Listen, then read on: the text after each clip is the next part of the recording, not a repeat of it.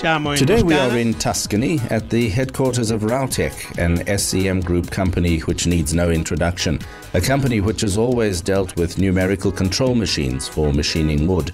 Today we'll be talking about a very popular subject that is construction, specifically wood building. Routech is proposing a new solution for the sector, the Oikos 12. Giovanni Tiezzi is with us. He is the manager of the technical department, and we'll ask him, obviously, what are the key words for understanding your new proposal? The first is simplicity. It is a machine divided into three areas. The first area for piece loading, a central area for machining, and an unloading area on the other side.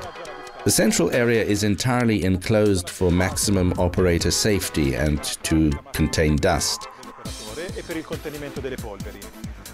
Even on the inside, the shapes are simple and linear in order to simplify machine cleaning operations. Another feature of this machine is the fact that it has just one working unit. We could have picked different solutions with more working units so that operations between one machining and the next one could be done in masked time. Actually, the strategic choice we opted for was to focus on a single very fast working unit in order to maintain the simplest mechanical solution possible without any compromise in productivity. Because we equipped it with an ultra fast tool change, and generally, as we'll see, the movements are very quick. So, if I've understood correctly, same results thanks to faster speed? Exactly the same, keeping a simple solution, which was a strategic goal. And in terms of precision, here we are talking about very large pieces with large dimensions, but precision will still have its value.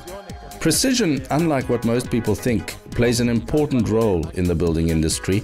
Obtaining precise finished pieces makes it possible to reduce installation times at construction sites. This is definitely a great competitive edge for customers. How did we achieve this precision? First of all, with accurate designing. The rigidity of the machine was entirely designed and simulated on the computer before starting the construction design. In addition, the significant power available on the spindle makes it possible to optimize the number of revolutions based on the type of tool to be fitted. And it always has the right rotation speed for any kind of machining. For the customer, this means a better finishing of the machining operations. So we've talked about simplicity and precision.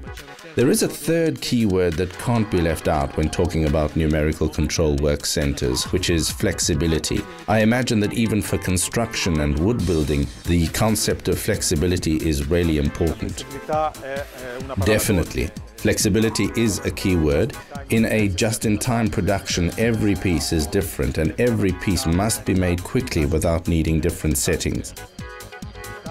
First of all, an initial characteristic which links flexibility to precision is the need to machine the piece on all six faces without having to flip it over. Flipping the piece over was possible, but to the detriment of precision. So we decided not to flip the piece over by making a rather innovative machine architecture with a six-axis architecture. Routech has a lot of experience in managing five-axis machines. The sixth axis was the logical evolution which made it possible to attack the beam with the working unit on all six faces. Another fundamental characteristic of flexibility is the ability to machine any type of cross-section that our customer might have to handle. This machine is able to machine beams with a width of up to 1250 millimeters and a thickness of 300 millimeters.